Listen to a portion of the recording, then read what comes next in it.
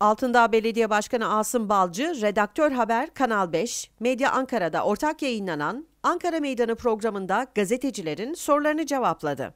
Başkan Balcı, Ankara'nın yerli ve yabancı turist ziyaretleri bakımından en çok ziyaretçi ağırlayan ilçesi olduklarını, ilçe nüfusunun 410 bin olduğunu fakat tarihi ve kültürel yapıları bakımından birçok eser barındıran ilçenin gün içinde milyonlarca ziyaretçi tarafından ziyaret edildiğini belirtti. Hemen yanında da 2. Meclis e, Cumhuriyet Müzesi o da.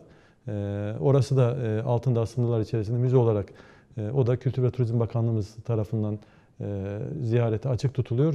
Bu ikisi de gerçekten Cumhuriyetimizin işte kurulduğu o günlere tanıklık etmiş tarihi mekanlar. E, ziyaretçilerin de e, uğramadan geçmediği yerler. Bunu özellikle ifade edeyim. Mehmet Akif Ersoy'umuzun Altındağ'da Taceddin Dergahı'nda İstiklal Marşımızı yazdığı yer e, yine bizim sınırlarımızın içerisinde. İşte burada Taceddin Dergahı'nda İstiklal Marşımızı yazıyor. Ve birinci mecliste İstiklal Marşımız kabul ediliyor 12 Mart'ta. Ve sonra da yine Denizciler Caddesi'nde Sebil Reşat dergisinde İstiklal Marşı basılıyor. Yani hem yazılması hem kabul edilmesi hem de dergide Tarihe basıldığı yer e, e, Altındağ sınırlar içerisinde. O bakımdan nereye bakarsanız bakın Altındağ'ın bir köşesinde mutlaka tarihten bir iz bulursunuz. Katıldığı canlı yayın programında Altındağ ilçesinin kültürel, ekonomik ve tarihsel zenginliklerinden bahseden Başkan Balcı şunları söyledi. Ankara Kalesi'nin içerisinde barındırması, Ankara'nın tarihi İpek Yolu içerisinde yer alması, ticaret merkezi konumunda bulunması hasebiyle de burası geçmişten beri binlerce yıldır e, Ankara denilince akla ilk gelen yer Altındağ'dır e, işin doğrusu. O bakımdan Ankara'nın kalbi diye boşuna demiyoruz. E, Ankara'ya ziyarete gelen işte yerli ve yabancı turistlerin de ilk uğrak yeri e, Altındağ sınırlar içerisindeki tarihi yerler, müzeler ve buna benzer yerler. Onun için e, mutlaka Ankara'ya gelenlerin altında mutlaka görmesi, ziyaret etmesi gerektiğini düşünüyoruz. Cumhurbaşkanı Erdoğan'ın açıklamış olduğu Türkiye yüzyılı vizyonuna emin adımlarla ilerlediklerini ifade eden Başkan Asım Balcı şu ifadeleri kullandı.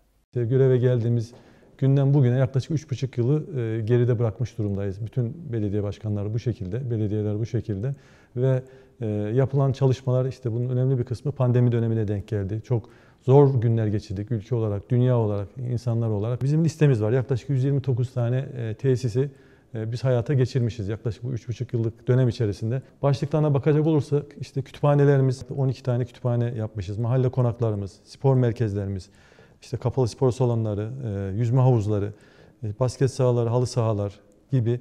Ondan sonra tarihi yenileme çalışmaları, restorasyon çalışmaları, geçmişimize sahip çıkma anlamında kültür sanat evleri, müzeler, gençlik merkezleri, işte spor kulüpleri, sıfır atık merkezleri gibi yeni yaptığımız parklar, millet bahçeleri Ankara'nın merkezinde yer alan 42 e, tane yeni yaptığımız park, kapalı pazar yerleri mahallelerimizde 5 tane kapalı pazar yeri yapmışız. Hacı Bayram Veli Hazretleri'nin metfun bulunduğu, e, orada işte camisiyle, türbesiyle e, zamanını geçirdiği tarihi mekanlar yine Altındağ sınırlar içerisinde. O bakımdan Altındağ aslında Ankara'nın misafir odası olarak değerlendirebiliriz. Hani eskiden bizim annelerimiz